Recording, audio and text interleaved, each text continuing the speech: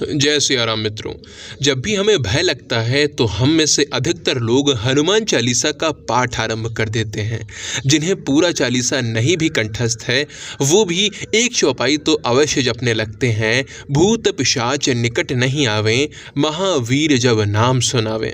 मित्रों, भय के समय हनुमान चालीसा का स्मरण आने के पीछे का सबसे बड़ा कारण है विश्वास।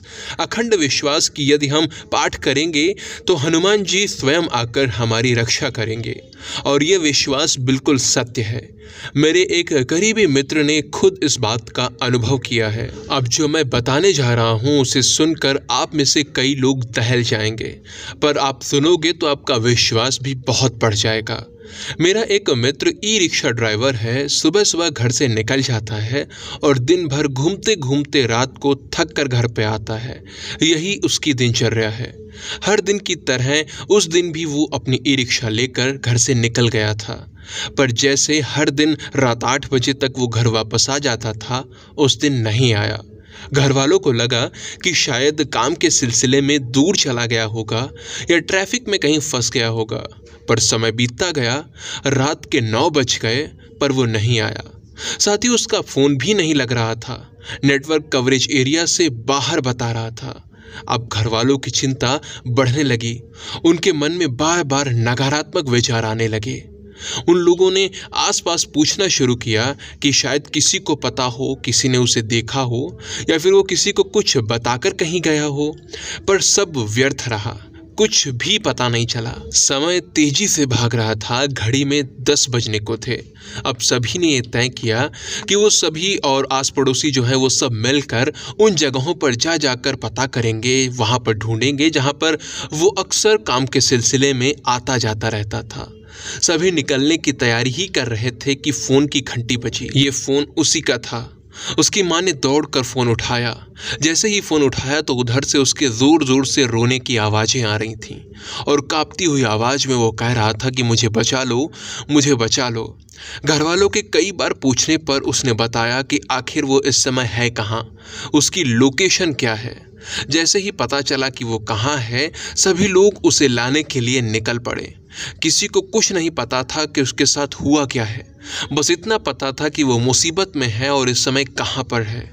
जब सभी उसके पास पहुँचे तो क्या देखते हैं वो लोग कि वो ड्राइवर सीट पर बैठे ज़ोर ज़ोर से रोते हुए लड़खड़ाती आवाज़ में, जय हनुमान, जय श्री राम बोलता जा रहा था।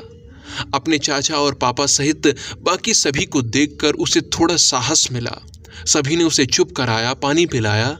फिर उससे पूछने लगे कि आखिर हुआ क्या था, वो ऐसी हालत में कैसे पहुँचा और इस सुनसान जगह पर वो कर क्या रहा है। तो उसने बताना आरंभ किया।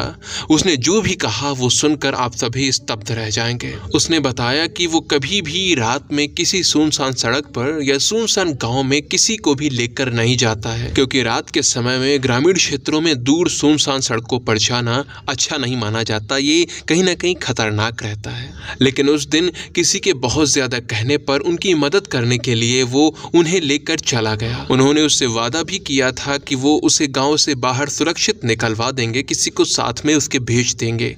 इसी वादे पर भरोसा करके वो चला गया। उसके वापस लौटते समय करीब नौ बज गए थे, रात काफ़ी हो चुकी थी। और सबसे खतरनाक बात ये थी कि वो जिस गाँव में गया था, उस गाँव का जो एरिया है और आसपास का पूरा क्षेत्र ओझा लोगों का था। मतलब वो लोग जो झाड़ फूक करते हैं, प्रीत आत्माओं को भगाते हैं। इसीलिए उस इलाके में तो रात होते ही सन्नाटा छा जाता है। कोई भी आता जाता नहीं है। मेरा दोस्त डरते हुए धीरे धीरे वापस जा रहा था। हालाँकि उसके साथ दो लोग थे जो उसे गाँव से बाहर छोड़ने के लिए साथ आ रहे थे, लेकिन वो दोनों लोग काफ़ी आगे चल रहे थे। मेरा दोस्त पीछे पीछे था। गाँव को पार करके जैसे ही वो मेन सड़क पर आया, उसे महसूस हुआ कि उसके आसपास कुछ है। पर वो बिना कुछ बोले ई रिक्शा की स्पीड बढ़ाकर चलने लगा। फिर अचानक उसे एहसास हुआ कि स्पीड वो चाहे कितनी भी बढ़ाए, पर रिक्शा धीरे ही चल रही है। उसकी स्पीड बढ़ाने का रिक्शा की स्पीड पर कोई फ़र्क ही नहीं पड़ रहा है। वो कुछ समझ पाता उससे पहले ही उसके आसपास कुछ काले साए घूमते हुए नज़र आए उसे। उनमें से कुछ रिक्शा की पिछली सीट पर बैठ गए, कुछ उसके आसपास, उनमें से एक उसकी गर्दन पर हाथ रखकर उसकी साँसें रोकने लगा। मित्रों, ये सब इतना भयावह था, इतना डरावना था कि वो बहुत घबरा गया, उसके मुँह से आवाज़ तक नहीं निकल पाई। उसने बहुत कोशिश की कि वो उन दोनों लोगों को आवाज़ दे, जो उससे थोड़ी दूर पे आगे आगे जा रहे थे, उसे छोड़ने के लिए आए थे, लेकिन वो नहीं दे पाया। उसके मुँह से आवाज़ नहीं निकल पा रही थी। वो समझ नहीं पा रहा था कि आखिर उसके साथ ये सब हो क्या रहा है। उसके आसपास मंडरा रहे, उसे जकड़े पड़े इन काले सायों के कारण उसका शरीर अंदर से जल रहा था। अपने बचने का कोई उपाय ना पाकर उसे भगवान की याद आई। वो मन ही मन हनुमान जी का ध्यान करने लगा, हनुमान चालीसा की चौपाइयाँ पढ़ने लगा। ऐसा करते ही उसे कुछ पलों में थोड़ा सा आराम मिला।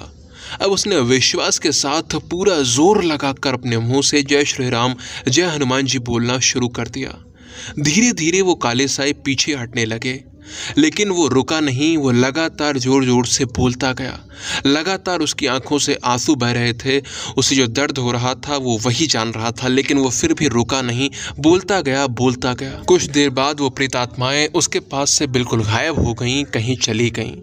वो जब ज़ोर ज़ोर से जय श्री राम, जय हनुमान जी बोल रहा था तो उसकी आवाज़ सुनकर वो जो दो लोग उसे छोड़ने आए थे, वो भी उसके पास आए। उसकी ये हालत देखी तो उससे पूछने लगे कि आखिर क्या हुआ है? लेकिन वो इतना घबराया हुआ था। उसके शरीर में शक्ति नहीं थी कि वो कुछ बता सके। उसने किसी तरह घर पर फ़ोन लगाया और उसके बाद क्या हुआ, वो आप लोग जानते ही हो। उसके परिवार वाले, उसके घर वाले उसे घर पर वापस ले आए। फिर उस दिन के बाद उसने रात में आना जाना बंद कर दिया और कभी गया भी तो हनुमान चालीसा सुनते हुए ही। मित्रों, ये हनुमान जी की ही शक्ति थी, प्रभु श्री राम जी की कृपा थी जो वो बच पाया। अन्यथा ऐसे गाँव में जहाँ भटकती प्रेत आत्माओं का डेरा हो, वहाँ से आखिर कौन बचकर निकल सकता है? ये सत्य घटना इस बात का उदाहरण है कि हनुमान चालीसा में भगवान के नाम में कितनी अधिक शक्ति है। कोई भी कभी भी पुकारे, बस मन से शुद्ध भावों से पुकारे प्रभु अवश्य सहायता करने के लिए आते हैं। तो प्रभु पर ऐसा अखंड विश्वास सदा बना कर रखिए। जय जय सियाराम, जय हो प्रभु श्री हनुमान जी।